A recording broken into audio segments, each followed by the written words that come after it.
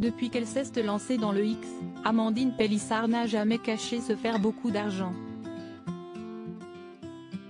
Mais cette activité ne représente pas son unique source de revenus.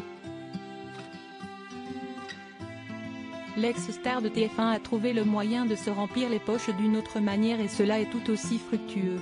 À la fin de l'année 2022, Amandine Pélissard et son mari Alexandre ont décidé de se lancer dans un nouveau business hors du commun, le X. Via la plateforme Mime, ils proposent ensemble du contenu hot comme des vidéos de leurs ébats. Même actuellement enceinte de son neuvième enfant, l'ancienne vedette de famille nombreuse, la vie en XXL poursuit cette activité. Il faut dire que celle-ci lui rapporte beaucoup d'argent. Mais les Pélissards ont trouvé un autre moyen de s'enrichir. En effet, depuis un petit moment maintenant, le couple s'est lancé sur Vinted, le célèbre site permettant de revendre ses affaires. Lors de sa vidéo réalisée avec Jérém Star pour son émission Baby Story, Amandine Pélissard a justement révélé que cela se révélait être très juteux. On est très organisé, on travaille en binôme. Chacun son rôle.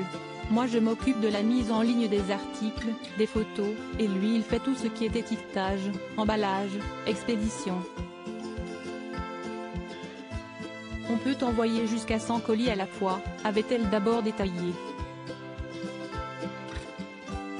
Et d'ajouter, on se fait entre 5 000 et 10 000 euros par mois.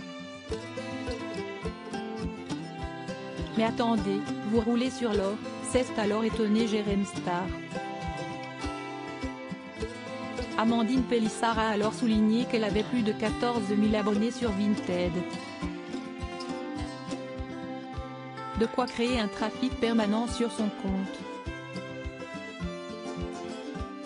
Dès que je mets un article en ligne, les gens n'ont même pas eu le temps d'être notifiés qu'il est déjà parti. Si est un roulement sans fin, a-t-elle expliqué. Vous êtes vraiment des machines Afrique, a réagi le youtubeur. On travaille quoi? On met nos enfants à l'abri, on en a huit quand même, leur préparer un avenir. On met énormément d'argent de côté, et on essaye de faire les choses intelligemment, c'est quant à elle justifié Amandine. Le couple sait tout de même se faire plaisir. Grâce à tous leurs revenus, Amandine et Alexandre ont pu quitter leur maison d'Alès, dans laquelle ils habitaient depuis 2020, afin de s'établir dans une luxueuse villa montpelliéraine.